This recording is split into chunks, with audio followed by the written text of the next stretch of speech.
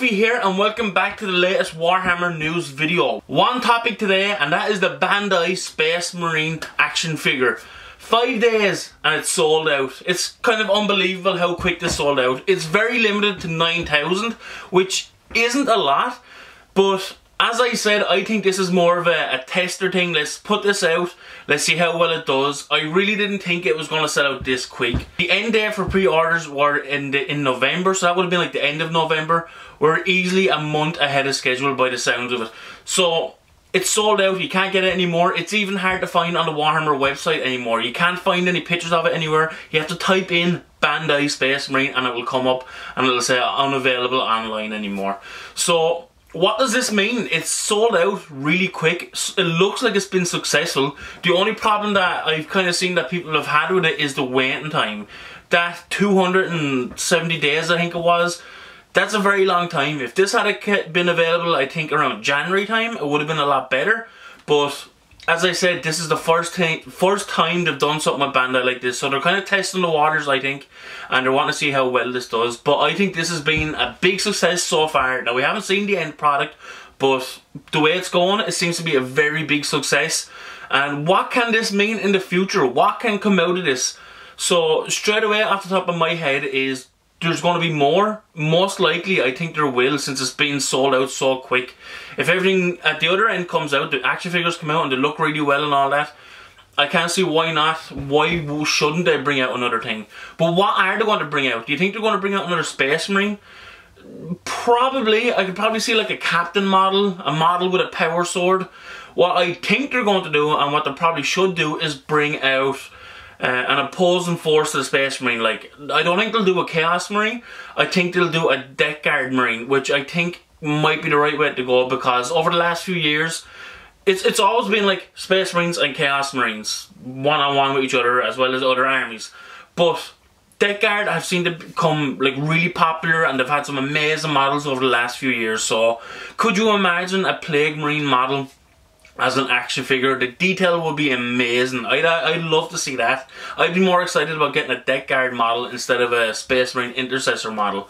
The other thing I thought about was when Games Workshop did the license deal with the Funko Pop things, those little action figures with like the big heads, they came out and they looked really nice. I think there was four of them. You had the Dark Angels, uh, the Ultramarine, Space Wolves, and I think the other one was a Black Templar, I think, I'm not too sure.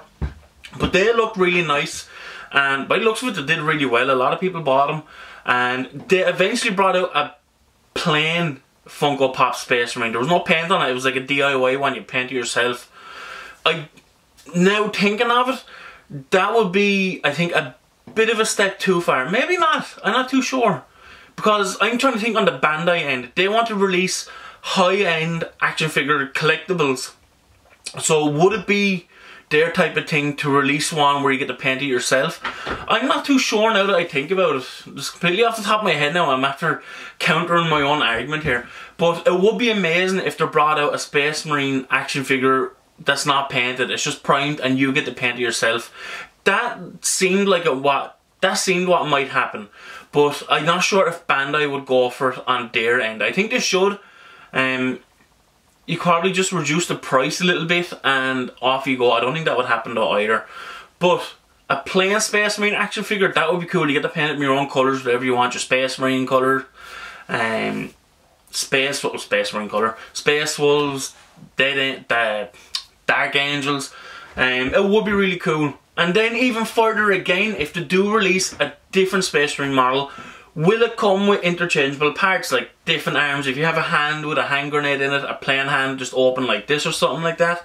Maybe an alternate arm with a power sword. That would be a really cool option to see. I think it all depends on Bandai's end for that. I think Games Workshop might have a bit more pull when this wants to show like, hey, this sold out in like five days. Let's do something different. So it could happen. But anyway, let me know what you guys think about this. It's sold out in five days. I said a couple times this video, but I think that's that's amazing. That's that's an incredible job. So only good things can really come out of this if the action figure comes out and it's really good. That all depends on this all this depends on how the model, or I keep calling it a model, how the action figure looks and feels once it comes out. If it's done really well, then definitely they're going to do some other things down the line. I don't think they're going to do like a big huge collection, But maybe something like an alternate army, you know, like the Death Guard or something like that. That's what I'd like to see. I love that. Plague Marine, yes please. Anyway, let me know what you guys think of the Bandai Space Marine selling out so quick. Do you think this is a good thing with Games Workshop reaching out to Bandai? What do you think, Banjo? Yeah, you like the Bandai Space Marine? Yeah. Um, what army would you like to see? What colours would you like to see? Anyway, let me know what you guys think in the comment section below. Hit the like button, subscribe if you haven't, and once again, thanks for watching. I'll see you guys next video.